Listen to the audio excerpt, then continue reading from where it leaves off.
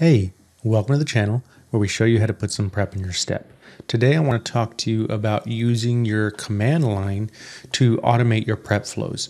And you can do this to automate files that are saved locally. You can use this to automate output to a database. You can even use it to automate published data sources on your Tableau Online or Tableau server depending on the type of credentials you've got set up. There are some limitations to this. And really, the biggest one that might be a, a big barrier is if you're using um, single sign on authentication. There, this doesn't work with that quite yet. Um, so you'd have to find a, a different way around it. But um, if you have a username and password login for your Tableau server or online instance, um, then you could use this as a way to automate some of those prep flows, uh, especially if you don't have Prep Conductor. Uh, so let's take a look at this and dive in. So right here, I've got uh, the help page pulled up from Tableau. Um, and actually a lot of the information that you need is right here. So it tells you what your limitations are. Um, so you've got these JDBC or ODBC connectors, uh, cloud connectors and single sign-on, uh, some limitations here. Um, but it even tells you that you can, uh, once you set up the process, that you can then set it on a task scheduler. Um, and it also tells you exactly what you need to implement in uh, your command line to make sure it runs properly. Now, the first thing that you're going to see here is you'll need administrator privileges, um, and you'll need to know the path where it's installed. Um, you, if you are connecting to databases or publishing to databases or to uh, Tableau Online or server, then you'll need all of those credentials uh, in a JSON file that you create. And it also shows you what the format of that file needs to look like. Um, and then lastly, you need to have the location path where the prep flow itself is located. So if you kind of come down here on the page a little bit, it explains the different types of connections and the format of your credentials file. And so for Tableau server, you've got the server URL, um, the site ID, uh, the port, username, and password. And so that's the example we're going to be working with today. Um, if you were using a database connection uh, or R and uh, TabPy, all of that stuff is here. But I'm just going to show you an example of what that looks like with a published data source so you can see it in action. So if you come down here, it shows you this is what your credentials file needs to have in it to connect to your Tableau server.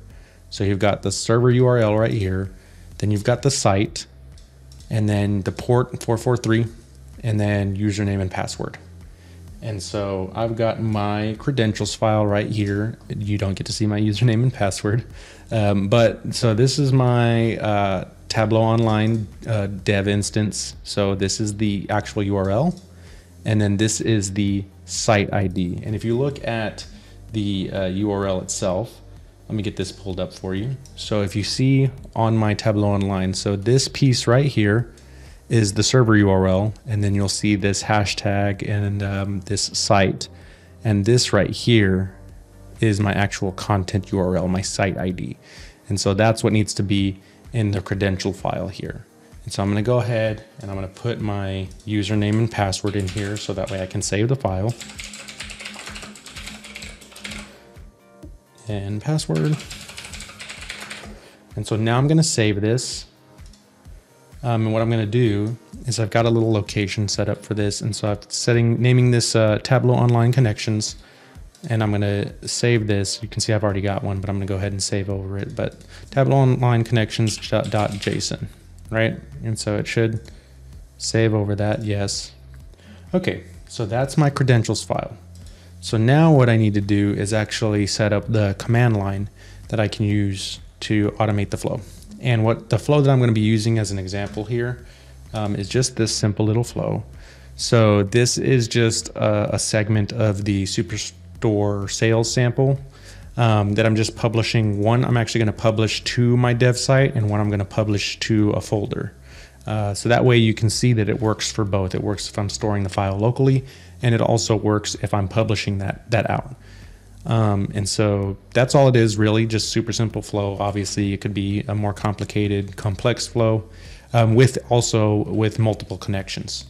Um, but right now we're just going to test it with connecting to my, this is actually a connection, a data source from my dev site.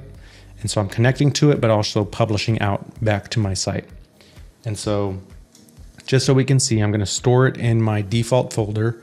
So right now I've got nothing here. And so if we go back to the uh, help page, we can see down here, there's a couple of different uh, sample command, command lines. So this first one here is if you're just connecting to local files and you don't need to use your credentials file.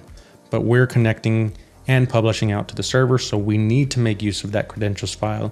So we would make use of this one here. The flow connects to databases or publishes to a server. So this is the sample that they've got here. Um, it makes it really nice and easy, especially since there's already a batch file for Tableau Prep. Um, you can it, it, really simplifies this whole process. Um, and I've used it. It's it's extremely useful. Um, and there may be some niche use cases for it. I've happened to, to fit into that category but you know hopefully you can find some use with this too. Um, so this is the sample file or the sample command line. And so what I've done is you can see so this right here is the sample line so the first line here is the location where um, prep builder is installed and also the location to that batch file. And so for me, that's my program files. And then there's that script and that batch file. So the next thing is my credentials file. It says the path to your JSON file. And for me, that's right here. So I've got my um, Tableau online connections file that we just created. And then lastly, you need the path to your uh, flow itself.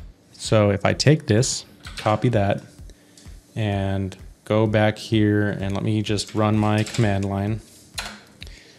And so if I run that, paste that in and run it, and you can see, there it goes. It's running, loading the flow, uh, creating temp directory, adding, updating my credentials. And it says that the updated the connections with my credentials, checking the flow.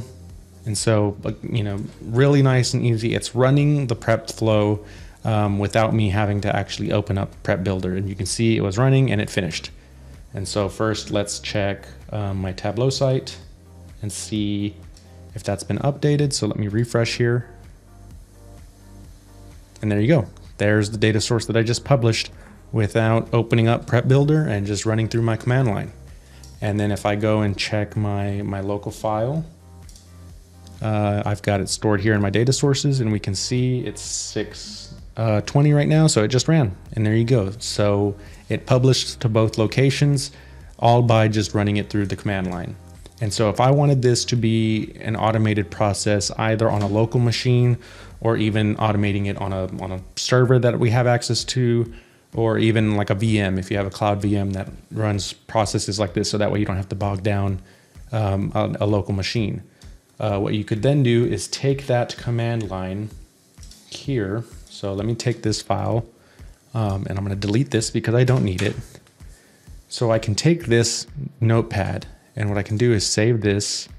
Um, I can see all files and you see that I've already got a copy of it here, but but essentially what you could do is you could name it whatever you need to and save it as a .bat file and that's your batch file. So if you save that, so now that I've got that, uh, what I can do then is open my task scheduler. And I'm going to create a new task for this. So let's say create task over here. And I'm just going to call this run daily superstore summary. Okay. Uh, my trigger, let's say I wanted to run this daily, uh, once a day. That said I want to do this at 8 um, so I want to do it at 8 a.m. every day. Okay. Let's see. I could repeat it hourly even if I wanted to. Uh, so let's say that. Let's just say I want to do it hourly.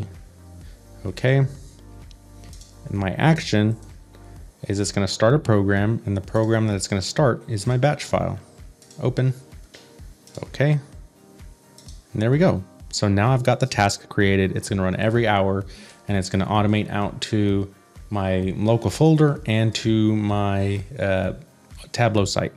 And so even just to test that out, what I can do is I can run it and you see it opens up my command line um, and starts running the flow and follows the same process as it does the first time.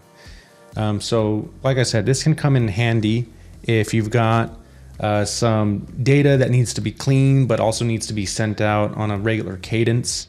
Uh, this is one way to do that to where you can even uh, one of the ways that I've found it really useful. Um, we've got some third party partners that we use um, for some of our data processes, and the best way for us to get them the, the data that they need is with uh, SFTP. Uh, so with this, I can automate a daily dump into the folder that we've designated for that process, that their process then it goes in and picks it up. Um, so this really helps out with that. Or um, like I mentioned earlier, if you've got a Tableau server or Tableau online site that uses um, username and password credentials, you can also automate your prep flows uh, without Prep Conductor using this method. It's when you, you know that limitation of the uh, single sign-on authentication really limits the usefulness of this if you're using that, but um, you can still find other uses for it. I've found other uses for it. Um, so yeah, I really hope that uh, this is something that you find useful. Uh, if you've got any feedback or comments, any specific use cases you want to see, just let me know. Drop me some comments, and I hope to see you in the next one.